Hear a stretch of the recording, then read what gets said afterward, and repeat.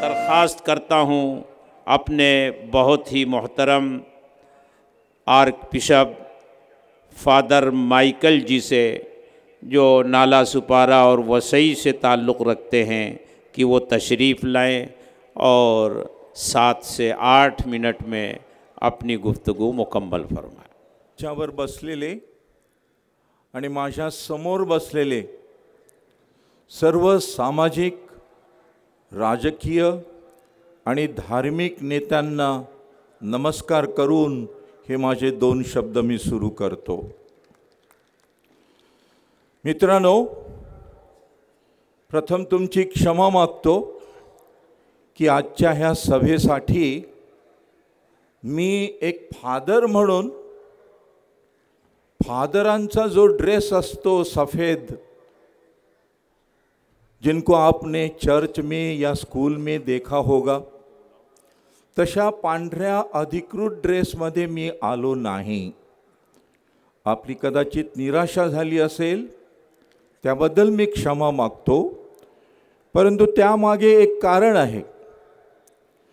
जरी मी फादर असलो जरी मी विदेशी धर्म पाळत असलो तरी तो विदेशी ड्रेस मी घालत नाही रोमन ड्रेस मी घालत नाही मी भारतीय ड्रेस घालतो.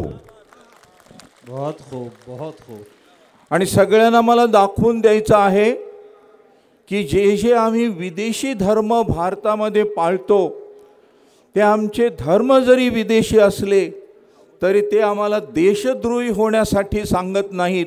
देशावर प्रेम करण्यासाठी निष्ठा करण्यासाठी आणि प्राण देण्यासाठी सुद्धा आमचे धर्म आम्हाला शिकवतात. मित्रांनो आज मी आमच्या ख्रिस्ती धर्मियांतर्फे ईसाईतर्फे आपल्या ह्या एकता संमेलनाला संदेश देण्यासाठी आलो आहे. आमचा प्रभू येशू ख्रिस्त ह्याच्या जीवनातला एक अनुभव आहे. एक दिवस तो शोम्रोनी प्रदेशामधून चालत फिरत होता. त्याला तहान लागली. म्हणून तो एका विहिरीवर बसला. तेवढ्यात एक शोमरोनी बाई त्या गावातली त्या विहिरीवर पाणी भरण्यासाठी आली. त्याने अगदी लीनतेने तिच्याकडे नम्र होऊन म्हटलं बाई मला थोडंसं पाणी प्यायला देशील का? त्यावरती शोमरुनी बाई आश्चर्यचकित होऊन म्हणाली काय?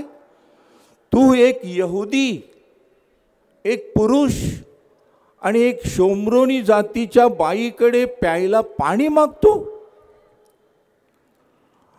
आणि ईसा मसीह त्या तिला म्हणाले तुला जर समजलं असतं जाणवलं असतं तर तू माझ्याकडे मागितलं असतं आणि तुला मी जीवनाचं पाणी दिलं असतं.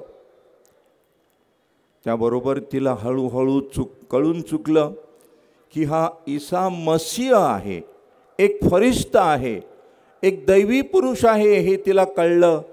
आणि मग ती त्याला म्हणाली एक गहन धार्मिक प्रश्न त्याने तिने टाकला. तर मग मला सांगा खऱ्या देवाची खरी भक्ती कुठे करायची? आमच्या शोमरोनमध्ये ह्या पर्वतावर की तुमच्या जरुसलेमच्या मंदिरामध्ये करायची? आणि प्रिय बंधू भगिनीनो येशूचं उत्तर फार मार्मिक आहे.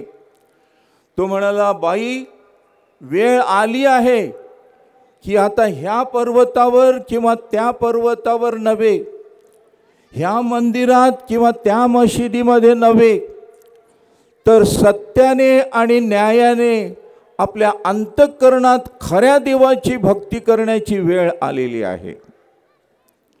आणि मित्र हो खरोखर तोच एक संदेश आज आपण गिरवण्याची गरज आहे. आपण वेगवेगळे धर्म निर्माण केलेले आहेत. देवाला धर वेगवेगळी नावं दिलेली आहेत. वेगवेगळी मंदिरं बांधलेली आहेत. परंतु ह्या सगळ्या क पलीकडे एकच निराशकार परमेश्वर आहे ह्याचा आम्हाला विसर पडता कामा नये. आणि म्हणून मला फार आज आनंद होतो की आपल्या देशामध्ये एक स्फोटक परिस्थिती निर्माण झालेली आहे. तिचं वर्णन करण्यासाठी मी एक छोटासा अनुभव सांगतो. एक कावळा होता. तो रोज आपल्या पिलाला खाणं आणायचा. एक दिवस त्याने आपल्या पिलासाठी एक मांसाचा तुकडा तुकडा आणला. त्या मांसाच्या तुकड्याला फार दुर्गंधी येत होती. म्हणून त्या कावळ्याच्या पिलाने तो तुकडा खाली र झाडाच्या खाली फेकून दिला. दुर्दैवाने ते झाड एका मंदिराच्या समोर होतं. आणि दुसऱ्या दिवशी त्या मंदिरामध्ये हिंदू मुसलमान ह्यांचे झगडा झाला. तुंबळ युद्ध झालं आणि तिकडे रक्ताचे थारोळे झाले. त्यावेळेला तो कावळा आपल्या पिलाला म्हणाला हे बघ आता तुला चांगलं मांस खायला मिळेल. दुर्गंधी येणार नाही ताजं मांस मिळेल. ह्या गोष्टीला त्या कावळ्याच्या पिल्याला आपल्याला जिम्मेदार धरता येत नाही. कारण तो कावळा आहे निर्बुद्ध आहे. परंतु आज आमच्या देशामध्ये अशी परिस्थिती निर्माण झालेली आहे की माणसंच आपल्याच मंदिरामध्ये असं काही मांस टाकून विरोधियांवर संशय निर्माण करतात आणि अशा प्रकारचं युद्ध तुंबळ वाजवतात ह्या परिस्थितीला आपल्याला तोंड द्यायचं आहे. अशा परिस्थितीत आपण सर्व धर्म समभाव हा सगळीकडे गाजवायचा आहे. आणि म्हणूनच आज ह्या आपल्या एकता संमेलन जे भरवलेलं आहे त्यांना मी माझ्या शुभेच्छा देतो. आणि हा सर्व धर्म समभावाचा संदेश ह्या इथून सगळीकडे पसरावा सगळ्या धर्मामध्ये जावा आणि आपल्या देशामधलं जे ऐक्य आहे ते अधिक टिकावं आणि आपल्या देशाचं संस्कृतीचं संरक्षण करण्यासाठी आपण सगळे पुढे यावे अशी सभी शु शुभेच्छा व्यक्त करून मी माझे दोन शब्द संभवतो जय हिंद जय भारत.